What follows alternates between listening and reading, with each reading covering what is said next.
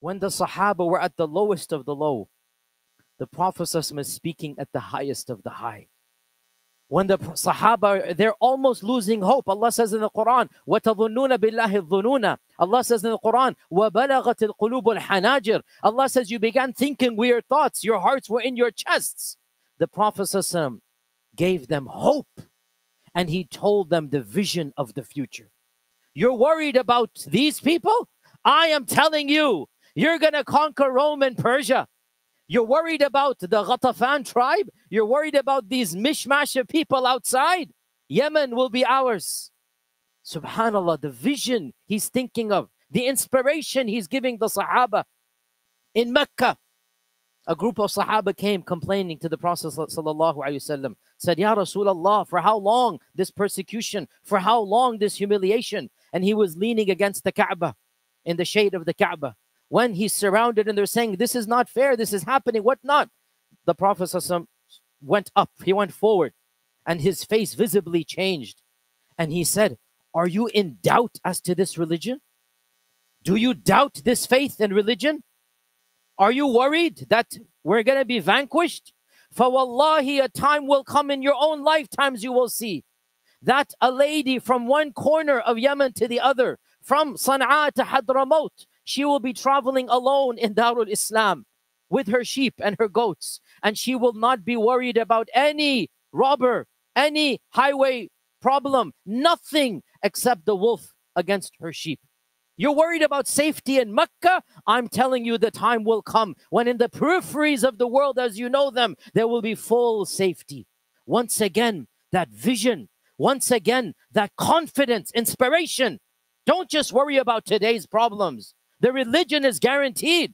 Allah has protected this deen. It's going to be successful. What will your role be in it? In yet another incident, I can go on and on. This is the seerah for us, full of optimism. In yet another incident, they came complaining. They came because it's human nature. Wallahi, it's overwhelming. We can't help but feel a sense of tragedy, of awe. We can't help but feel a sense of sadness, of exasperation. For how long the bombs are going to fall on Gaza? For how long people are going to get killed? For how long this is going to happen? 75 years of tragedy in just that region.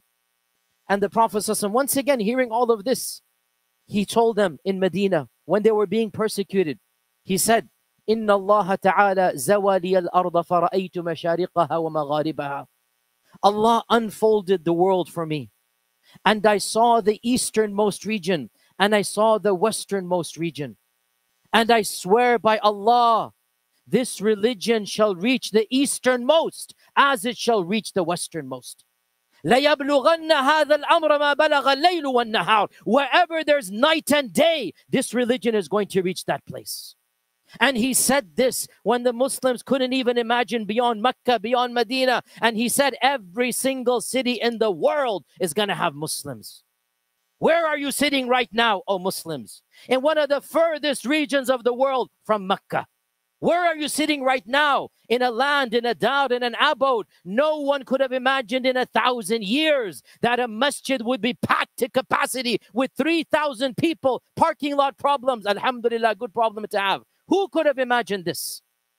And this is the reality across the Western world. Oh, Muslims, my message to you today will be in light of this prophetic message. Our Prophet ﷺ inspired us with confidence. He told us to think to the future, to be visionaries, to not take the setbacks of today so that we become overwhelmed, we become pessimistic. No, that is not what our faith teaches us. My message to you today is a strong and clear message. Yes, wallahi, the world is depressing. Yes, wallahi, we're facing so many threats and challenges from within and from without. Islamophobia is on the rise. Our own Western politicians are using a hatred of Islam to increase their own popularity points public policy, national policy in America, in Canada, and England. We, the Muslims, have become an important issue in politics. No politician will run except that they have to take a stand on Islam and the Muslims. And one of our previous presidents was elected when he said, We're going to ban all Muslims. That made him even more popular. We have become a national talking point.